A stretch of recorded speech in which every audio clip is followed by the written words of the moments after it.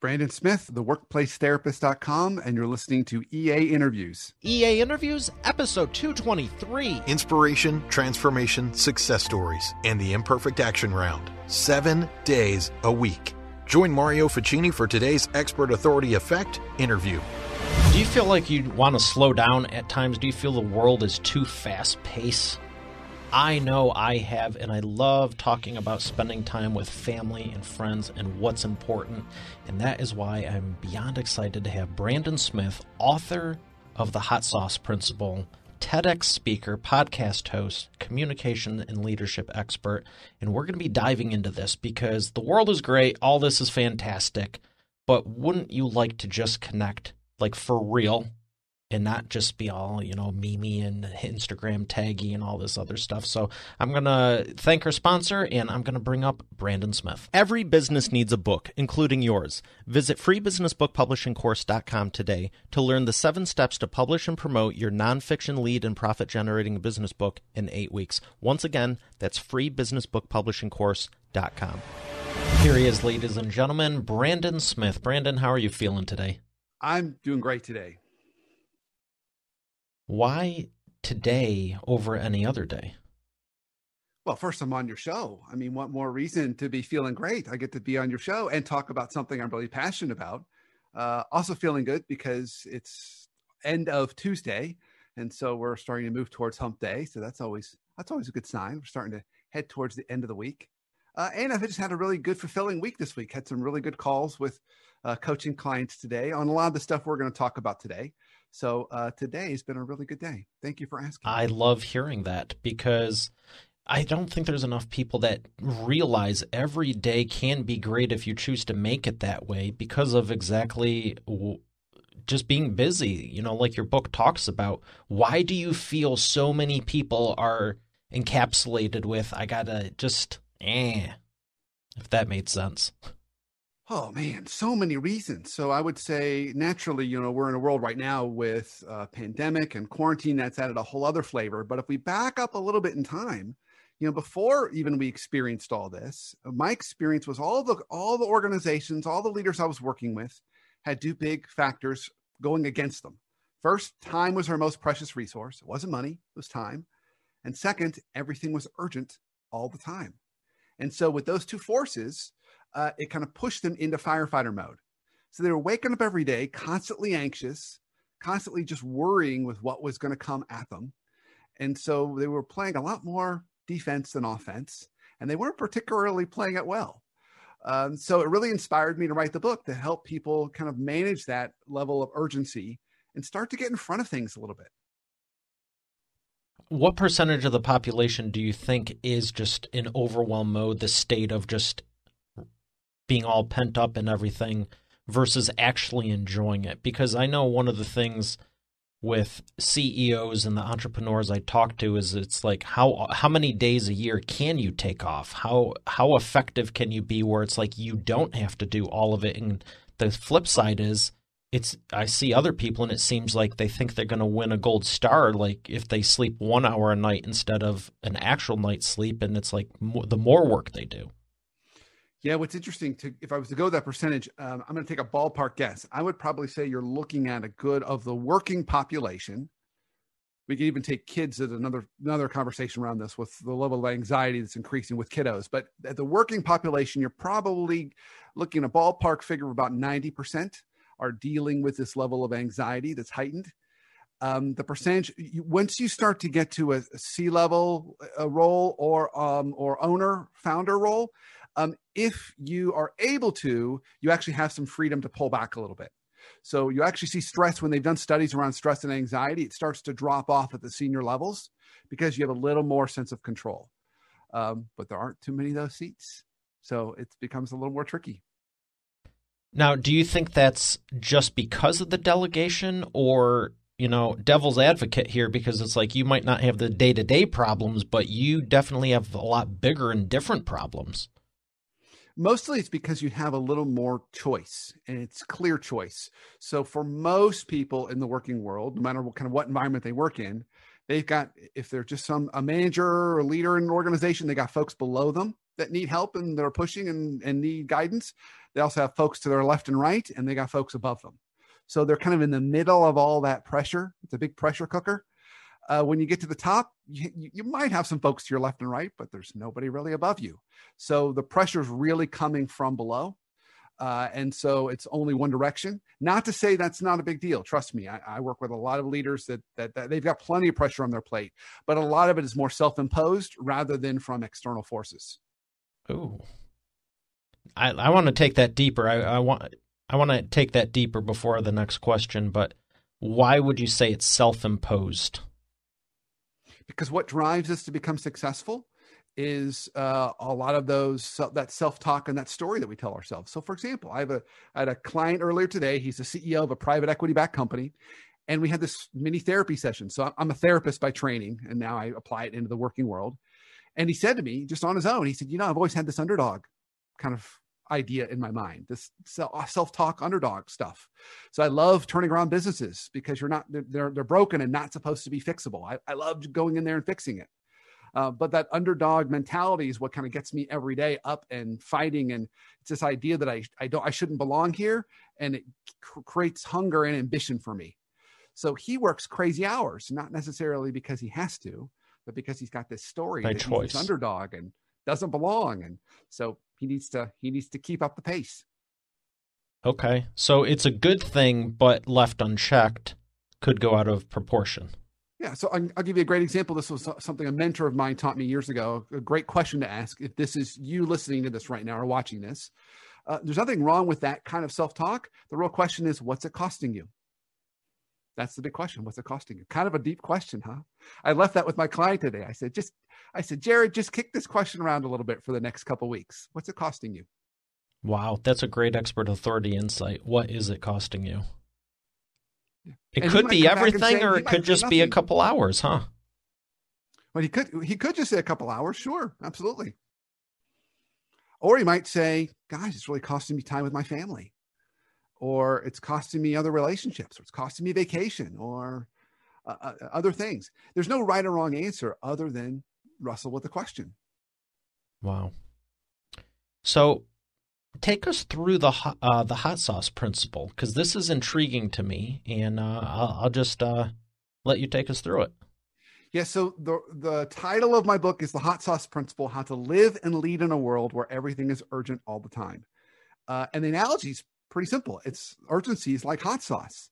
And why I love that analogy is because um, hot sauce is a great thing. You put a little bit of hot sauce on things, adds a little bit of focus, a little flavor, a little bit of spice, right? You go, oh wow, that's it's it's good. You know, maybe needs a little bit of, of, of relief and a little drink of water. Okay, but if we cover every single thing we have in hot sauce and just douse it, and everything that comes out of our kitchen is doused in hot sauce, or comes that, that comes out of the leadership kitchen to us.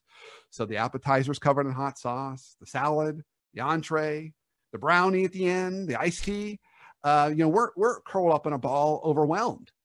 And so I love the analogy because a little bit of hot sauce adds priority and focus. But if we make everything urgent all the time, or we live in a world where everything's urgent all the time, the exact opposite happens. It creates paralysis and and urgency in hot sauce. Another word for that would be anxiety. So we want to be careful that we're not putting so much on our plate and in our lives that you know we're suffering from extreme anxiety because uh, that's definitely been an issue and a growing issue, particularly as we're uh, in in a world where we're a little more isolated and quarantined for the moment. Let's talk about what this does to the business over time. So I, I love the analogy too. I, when you said putting it over a brownie, I was like, but I know some people who love it. They're like, oh, I put hot sauce on everything. It also reminded me of uh, the the one episode of The Office where uh, uh, Michael was. They they were like, you can't keep doing this. He's like, what? You can still tell the differentiation. He's like, I mark it urgent A, urgent B, urgent C, urgent. D. You you know everything's urgent. To your point, Yeah. what does this do to a business over time if everything is literally covered in hot sauce? So if we extend this a little bit further, it creates a tremendous amount of um, chaos. Is is what it really does. It creates chaos. So nothing is ever really done well, and it creates a lot of fits and starts. So from a business execution standpoint, it's just this choppy, nothing ever really gets fully accomplished, lots of starting things, not finishing things, uh, a lot of um, collision of resources. You don't manage resources well. You can't allocate resources to certain initiatives because what initiatives we allocate them to? All initiatives are important, so you can't really. There's no way to make trade-offs. Um, and what you also end up doing is it will it will ultimately result for a fact in a loss of talent because you'll have people burned out and so they're going to leave so then now we're replacing people our experience with people with new people um, that can be bad for customer retention client retention can be bad just for general execution so the, you know, in simple terms the, the companies that i see that really do this the best that manage this the best particularly even, in the last six months um, they execute off of three to five priorities that's it They've got three to five priorities. Do you see any That's commonalities with those three to five priorities, or just the fact that it's only three to five priorities? So, well, I see that they tend to they tend to have three to five big priorities that they focus on, and they just keep repeating those. At least the senior leader does. This is the stuff that matters the most. And then then the challenge is all the leaders within the organization have to kind of line up to those. Um, because there can be the tendency for those individual leaders to create sub priorities that are their version of hot sauce. So then you have, you know, big bottles and small bottles floating around all over the place. But do you see any uh, as far as the topics of like like for example sales is sales commonly always one of those top 3 or is it weekly meetings and team building? Um, well, it should, at least in my opinion, should depend upon the need of the business. Okay. So right now, as we sit here today, uh, yeah, revenue protection and profitability is is a big topic, particularly client um, relationships. So oh, oh, that tends to be one of the big priorities: is how do we really reconnect with our clients, partner with our clients, understand where our clients are at, and make sure that we're we're meeting them where they're at right now because everybody's in a different place right now. So that's definitely one. Uh, cost control tends to be one too. I, to be honest with you, I'm not a very big fan of that one because that one to me I think is a pretty easy one, and and it tends to get overweighted, which then cuts into things like clients and marketing and sales and a lot of those other lifeblood um, pieces of of the priority. So I would I would say this: a good mix of priorities should look like the inside of a car. There should be a combination of gas pedal priorities and brake pedal priorities um, because too many gas pedals, it's going to be a fun ride, but you're going to go off the cliff. too many brake pedal priorities like cost control. Um, we're never going to leave the parking spot. We're just going to stay parked because it's much safer that way. So, the, so the priority mix should probably be something that represents gas pedals and brake pedals. Depending on the business. Okay.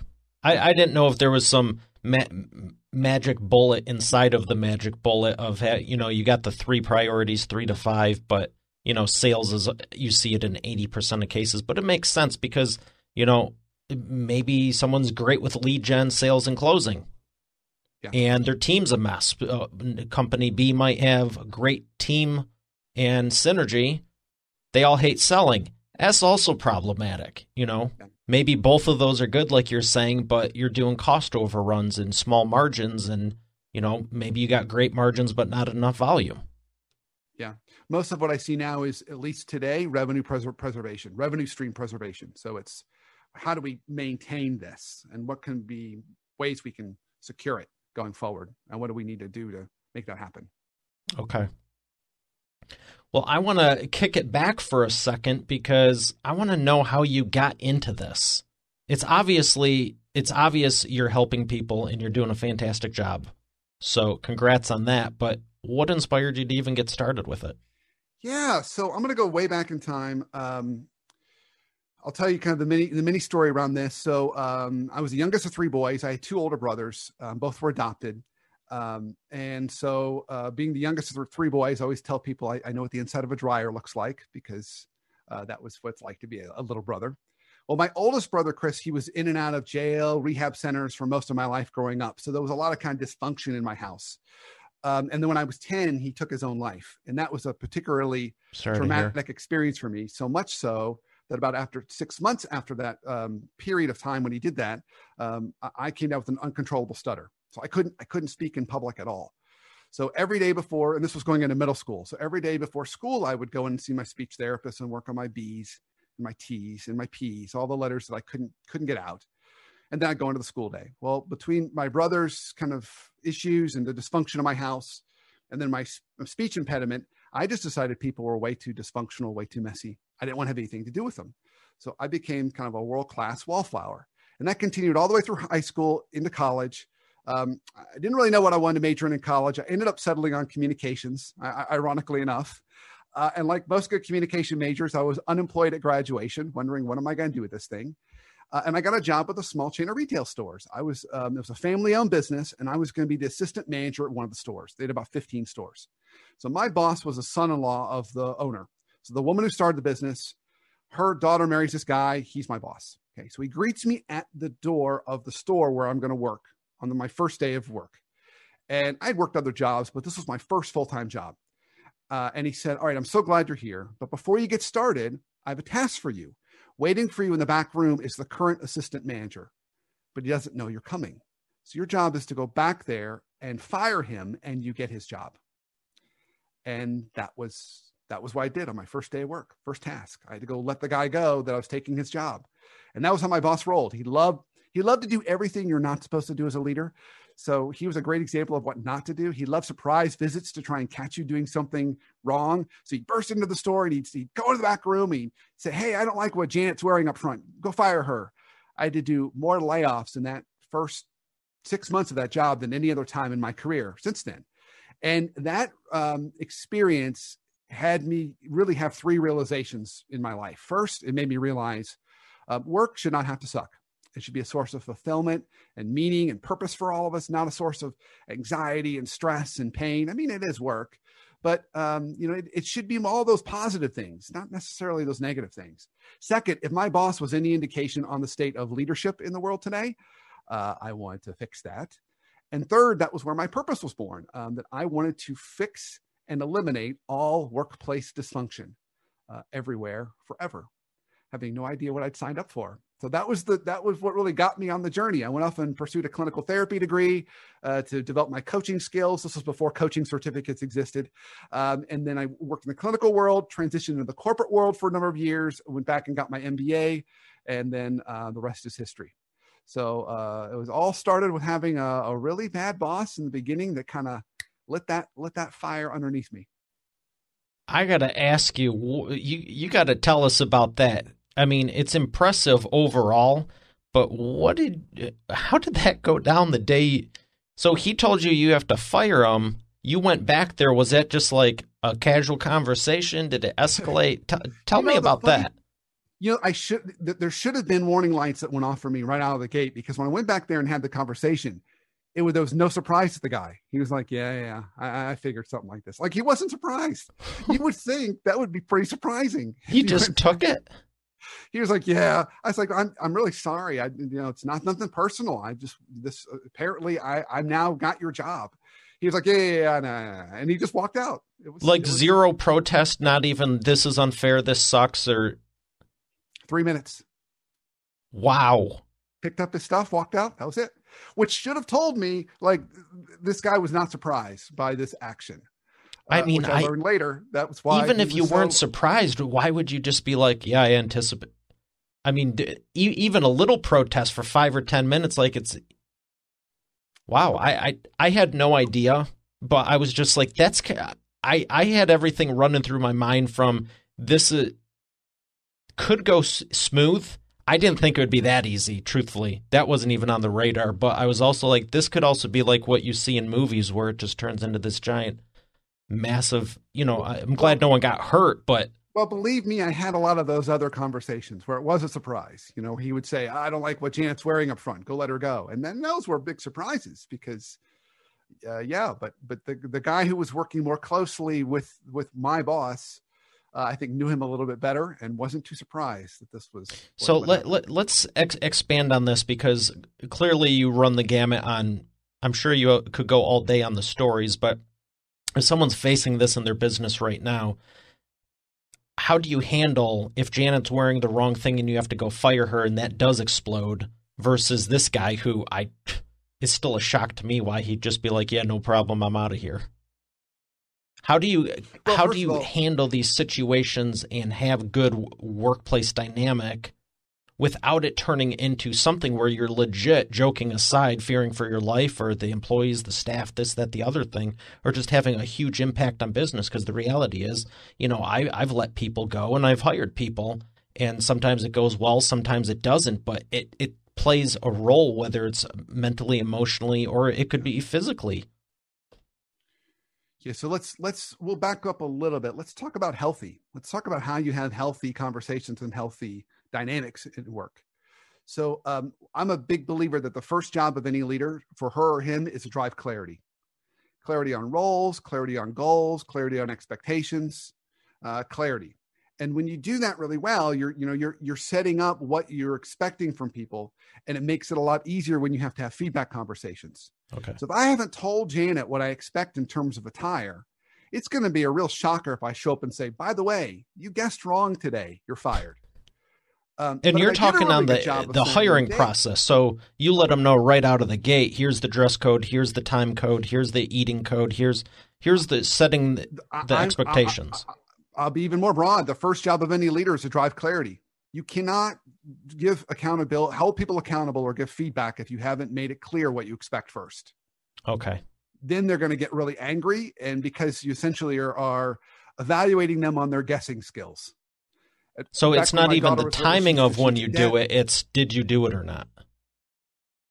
Yeah, yes, exactly. If you if you haven't driven clarity, you're evaluating them on on their guessing skills. My daughter used to she would make me play guessing games with her. Now she's 18, but she would always say, "Oh, dad, I'm sorry. You failed. You got a Z minus in guessing."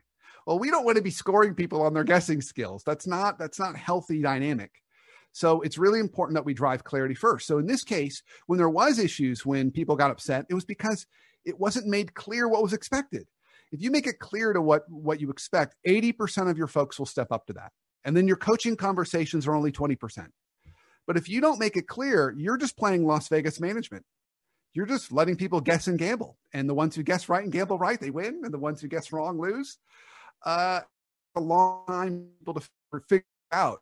So the best gifts any manager can do is provide that level of clarity You, you got incredible insights and some of the best analogies. I, I'm, I'm the car, the hot sauce, the Vegas. This is awesome.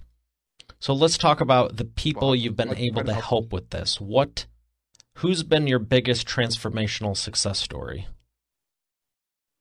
So I'm I'm going to give you kind of two as as examples. So one would be a luxury retailer that that yeah for free. Uh, uh, one was a luxury retailer I worked with a couple years ago, and um, when I get to do my very best work, so let me wave my magic wand and I get to do my best work. It tends to involve a couple different things. I'm doing individual coaching with leaders across a business. So I'm working with lots of folks one on one. I'm doing teamwork. So I'm doing work with teams. And then I'm also getting to jump in there and doing a little bit of um, executive education. I get to do a little bit of teaching and you know communicate principles and concepts so everybody's getting the same language. When I get to do all three of those, I get to change the culture. And so this was a luxury retailer. This was when e-commerce was really disrupting their business, and they said, you know, we need to go from a clerking culture to a clienteling culture, which I love that image. Clerking to clienteling. When we're clerking, we're standing back on our heels saying, "How can I help you?" But when we're clienteling, we're saying, oh my gosh, Mario, you look great in this. I mean, we're really being proactive. So they need to change that. And they were um, so successful in the year that I worked with them. It wasn't just my doing, I supported it. Um, but then they ended up um, getting acquired. So uh, that was a really good, happy story for them. Um, so that was a that was a great one. Um, and then one that I've really enjoyed recently is I've been able to take a lot of the work that I would normally do in person and figure out ways to do it virtually. So I've been having a great opportunity to do more of that kind of work, virtual work, same kind of thing, but I'm doing it all virtually. So we've all had to pivot. Uh, and I had the opportunity to work with a, um, a department, so an R&D department ins- inside a medical device company, and they were the lowest on employee engagement score. And after the work we did over four months, they bumped to the top of the list on employee engagement score, and saw tremendous improvement in how they collaborated across the business. So uh, that's a mini example, but a more relevant one. So um, it's both of those have been kind of fun, happy stories for me. So tell me about the book. With all the success you've had, you know, with the speaking and the coaching, why did you decide you wanted to do a book? You know, there, there a couple of reasons. One, I I always wanted to find a way to take a lot of the content that I was producing and creating and putting it into something a little more just tangible that people could kind of hold on to and you know have it at, at their disposal. So there was that reason for it. Um, but the other reason was from a business perspective, you know, I, there's a lot of things I've gotten to accomplish, but I've never written a book. And that was, I think, as a, establishing yourself as an expert, it's still one of those important pieces, those feathers in the cap that you have to have. And I found that to be very true for me. Um, you know, I didn't have to have it to, to continue to run my business, but to really uh, position me for some of the other work that I wanted to do, it was important to have one. Uh, and so I'm, I'm really glad I wrote it. It was a great experience, and I'm already planning on my next one. Ooh, the next one. What's uh, what's that going to be about? Oh, I can't I can't tell you that. It's like it's like going into Willy Wonka's chocolate factory. There's some secrets that I know. know I had to try those. The, underneath the I I have done it, and I actually got some people to reveal some stuff that their own staff didn't know. I got an email, and they were like, "How did you get her to tell us? We didn't even know." So I had to go for it, but uh, I'm I'm sure it'll be great also. But I can respect that. Um, we're going to do, I kind of asked you one, but we're going to do the Wheel of Whatever before we thank our sponsor. And this is a question that is always fun. So I'm going to spin this and see what it lands on for you. Oh, that's that's doing good. Last time I almost dropped the thing. Wheel of whatever. My question for you is what business would you love to be able to work with that you haven't yet? Like a, a well known one that you maybe not even think you could get access to that you know you could help and they definitely need it? Oh, wow. That's a really great question. Oh, I love that question. You know, I will I, I will answer it um, all right, it's hard for me to pick, but I'm going to go ahead and pick one. I love, love, love, love, and gotten a chance to work with them a little bit, but I love, love, love hospitality. So I would love to work with either Marriott or Hilton or a, a large hospitality company because, because I know right now they're definitely struggling. But my heart really goes out to companies that have strong service models where service is a really big part of their revenue and how they end building those customer relationships over time and, and the importance of culture in that. So I would love to spend more time with them. Now, I, if I had a real wish list company, even within that space, even yeah, beyond Marriott and Hilton, there would be one. There'll be one that I'd stick to the top of the list. If you looked behind me, you'd probably see hints of it. Uh, Disney World. I would love to work with Disney, particularly the park side of the business for that. So for all those same reasons, um, because I think they when they do it well, they create a lot of uh, loyalty, and that uh, it makes their business run really, really well. And it can weather most storms, but pandemics are a little more challenging. I'm I'm th- I'm uh, thinking of if I know anyone that has ties to Disney because that would be a fun. I'd be happy to make that introduction. If anyone ever comes on the show, I I think that would be great too because I know you could help them. I would owe you big time. I would owe you so big so big. How long have you liked Disney for? Oh gosh, probably since I was four or five. Uh, I, I always just loved um, what it stood for and what it what it felt like to be in there, and how everybody just kind of operated a little bit differently. Even the customers, I find that really fascinating. And now, as I've gotten older, I you know look at how the cast members work and how they just generally um, create environments where uh, people just tend to be nicer to each other. Um, so in that way, at least at least when I'm there, it feels like the happiest place on earth. So I think that's pretty cool.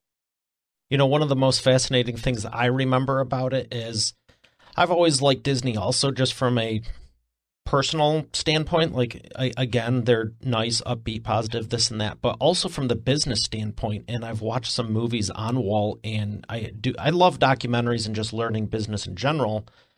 But one of the things that eat long before the show, and probably even my companies, was just I've always been fascinating with like how people think and the behind the scenes and stuff. And I will never forget well, I did I did forget whether it was a documentary on TV or a book or whatever. Probably TV because I'm drawn to video. Shocking. But they were talking about how they engineered the park. And a lot of people don't know this, but there's actually tunnels under it because when they're taking the trash out or moving people around, this and that, like some of the simplest things we take for granted, when you're doing stuff at scale, it's just a whole different ball game. And I was just fascinated because it's like all these little things that aren't a big deal for us. It's like when you're moving a hundred thousand or a million, probably millions of people daily. I go, come to think of it, I never did see any of the staff interfering with our experience. You know, when did you ever see the people getting dressed walking out into the area? You didn't. How did they get from one side of the park to the other? And the, you have to have you're, you're a brain that just you have to be tuned into excellence in what you're speaking about. That top level. It's like, was that even on anyone's radar? I mean, you know, they didn't just build the whole thing and then realize we have a problem, tear it down, and do it again. Did you did you happen well, to know know was, about that or not? Yeah, yeah. The story, though, as the story goes, what um, drove Walt Disney crazy because in Disneyland, it, he was so bothered by seeing a cowboy walking through Tomorrowland. So when they bought all that property in Florida, it was designed so it was on the second floor. So a cowboy would just kind of pop out of the bushes in uh, Frontierland, and there was no walking through other parts of the park. So everybody kind of stayed in character, and all the cast members stayed where they were supposed to stay. Um, so it's really, really interesting. And and they, uh, f- uh, from talking to people who have worked there, they said it's one of the safest places on earth. They monitor everything. So it's it's we, we could spend a whole show on just Disney, my friend.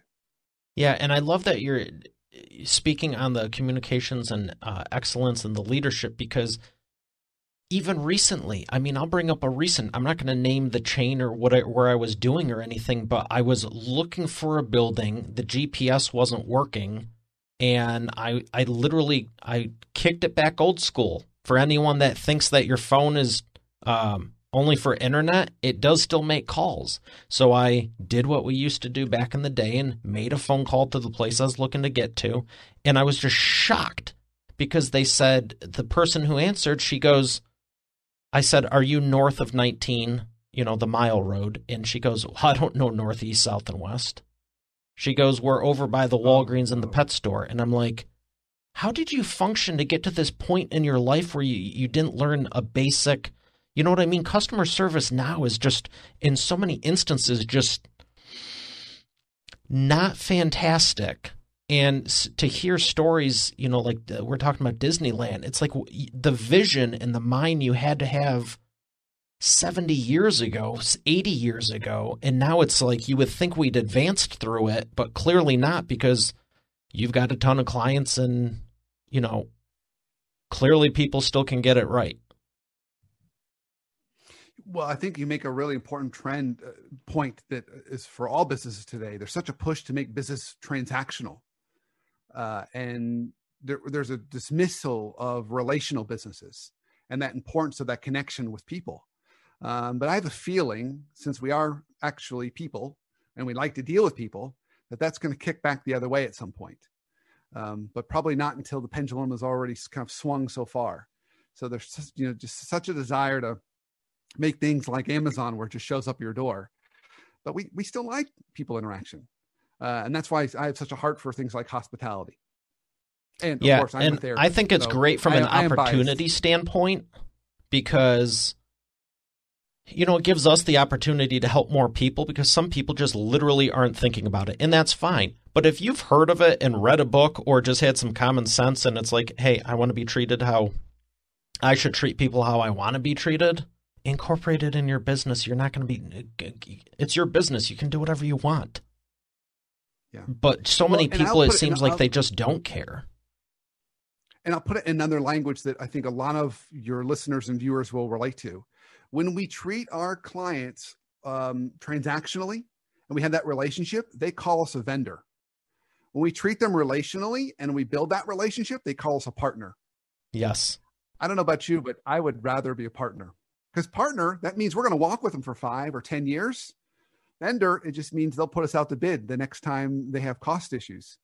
So I, I think strategically, there's real value in being a partner uh, and building those relationships. I, I agree 100%. And I can say over the last five, six, seven years, I never treated my staff and team as like, you work for me, you're an employee, you're, you're just like, you're just kind of there. But I did start saying, because I've always had that mentality, but I have literally po- posted when I'm looking for people like uh, as the show grew, you know, I, I'm always looking for great people to join the EA interviews team. I'll put in the post, I go, this is not a one time deal or a project basis. I'm looking to partner with someone. Majority of my clients' team and people have been with me, you know, and I even put, I'm looking, for example, uh, I was looking for a lead programmer for uh, CSS, PHP, and stuff for one of uh, the softwares I developed and I put in the post, my lead programmer has been with me for over eight years. I really don't want to have to look again next year. And I, you know, I'm looking to partner. I'm not looking for someone on a project basis. And the people who responded, I had a little thing that said, you know, what drew you to this? I mean, coding is nothing new. And they go, I'm so tired of just dealing with companies that just toss us. I you know we're we're looking to have a long-term relationship also. Yeah. And, and, i bet that's your ideal client that you work with is longer term relationships like that too. So your your internal culture you know matches your business model which is why this stuff also matters too.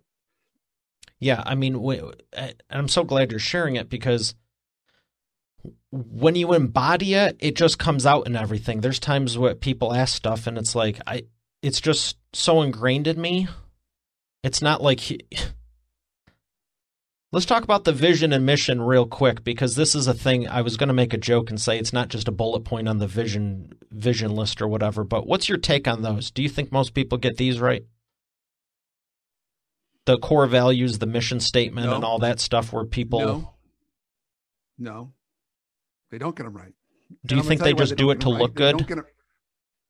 they they do it they they do two things wrong so this is for everyone who does these this is how where you screw this up first you go off with the senior leadership team and you create these over a full day and then you say look at what we did and you stick them up on behind plexiglass and you never talk about them again so that's the first way people screw them up is you do them you treat them like a one-time event and not something you're going to talk about every day because they really are supposed to be things you talk about every day the second way people screw them up is the more subtle way they create too many. There's too many, the statements are too long, they've got too many, so no one can remember them. Because to really have these effective, they have to be sticky. So let's go back to Magic Kingdom in Disney World for a minute. If, if you and I worked at Magic Kingdom as cast members, we'd be trained on four values. There'd be only four values that they would train us on safety, courtesy, show, and efficiency. That's it. Um, and we would be trained that that's the right priority. We keep our guests safe, we give the magical moments, which is courtesy. We create great show experiences, which are like memorable lifetime experiences, and super efficient because no one wants to stand in the hot Florida sun in the middle of July. And and we be trained on those four. Now, how many companies have you gone into that have eight or twelve value statements or purpose statements? People can't remember them, and and that's that's not me saying that. Uh, those are psychology studies that have been done over decades that show that most people, after you get past about five things, they forget. So um, even a cognitive psychology proves this point. So if you really want to do this right, you know, think about things you want to talk about every day and keep it simple. The fewer the items, the better. That's how you really make culture work. Excellent. Those are great expert authority insights. And I was thinking, um, there's there's times I've done the exercise and it's like, well, I want to do six or seven, and it's like, no. Well, maybe there is eight, nine, or ten. It's like bundle them, rename them, but keep it simple because you don't want to be you don't need to impress people by doing you know more than the other person. Just be uncommonly good at the simple stuff most people take don't do. Do those you know those three things exceptionally well. You don't need 15 of them yeah. And and here's what makes this even simpler. Remember we went back to priorities earlier today and we talked about priorities in three to five the companies with the culture values three to five it's the same rule just keep three to five, three to five main values for your culture, three to five main priorities you're going to execute on because people can remember those and it keeps people focused and aligned. And as leaders, that's really what we're trying to do. That's our job. We got to herd all the cats. I've told my author clients the same thing when I'm helping them publish their books. Um, you know, this the title, subtitle, and then the bullet points for like what what are you going to discuss in the chapter. Put three of them in there. So you have a few points, they get some benefits, it's all well and good, but there's not you don't have one chapter that's 27 pages long and one that's 2. Yeah, nice. Keep it simple. We're going to thank the sponsor and come back for the imperfect action round. You've heard me say every business needs a book, including yours. And it's true. And that's why you should visit freebusinessbookpublishingcourse.com today to learn the seven steps to publish and promote your nonfiction lead and profit generating business book in eight weeks. But you know what? Don't take my word for it. Take it from a few of my authors, like Lori. And I went from having an idea and a possibility to actually getting my book published. Or Catherine. Thank you for making my mom number one best-selling author. Or Mary Alice. What he got done for me in three days regarding my book launch, unmanageable. John Cody. I've worked with Mario over the phone and online, and he's been very helpful in getting me where I needed to go with promoting my books. Rocio. There's no way in the world I would have been able to do this with somebody else. I, again, I've attempted it in the past. It didn't serve me. As a matter of fact, I ended up more frustrated than anything. So this has been a very seamless process. Adele. If you're looking for an amazing business coach, I highly recommend Mario Fachini. Or Bill Benner. Uh, I can't make a higher recommendation for Mar- than to work with Mario Fachini. He has been great for, for me, and right now I won't work with anybody else except for Mario. Hey, their words, not mine. Visit freebusinessbookpublishingcourse.com to get started now, and I look forward to hearing your transformation as the next video success story. Once again, that's freebusinessbookpublishingcourse.com. And we are back with the imperfect action round. Brandon, are you ready to take imperfect action? I'm ready. These are rapid fire questions and answers. The first one I have for you is What is the fastest path to the profits?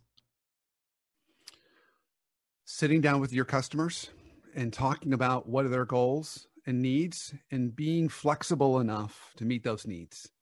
Today, that's really, really important. Trying to put them into a box that existed six months ago isn't going to work anymore but customers are really open to still meeting their needs today. So if people are willing to be flexible and creative, that's the path.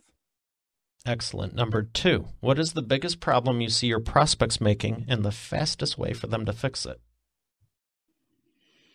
The biggest problem I see them making, particularly at the leadership level, the leaders that I work with, is that because they make everything urgent all the time uh, and they're defaulting to doing other people's jobs for them, uh, they find themselves more as firefighters than anything else. And so, the easiest way to fix this, if you're a leader, is uh, think about your hourly rate and make sure that you're using your hourly rate to determine what's the best use of your time and what are the things you either need to be saying no to, delegating, or outsourcing. Number three, what is the best way to maximize customer lifetime value? Oh, I think we've talked about this one before. I think you want to match your culture, the culture of your business and how you provide service to the culture of your clients. So, what do they value in that experience? And make sure that you're operating that way to align. Because when your culture is lined up with their culture, that's a marriage made in heaven, and that's going to last a long time. And that creates ongoing revenue streams, which is what we all like. Absolutely. Well, thank you for those. Uh, what are some uh, books you could recommend to Expert Authority World that have made a big impact on your life? Well, in addition, in addition to my own, which I would highly recommend people buy and read, uh, I have a couple. So I would, um, I do like Daring Greatly from Brene Brown. I, I like uh, particularly her work around vulnerability. I think there's a lot of power in that. Um, and and anything by Paulo Coelho is very very good. So mm. I recommend his his work as well.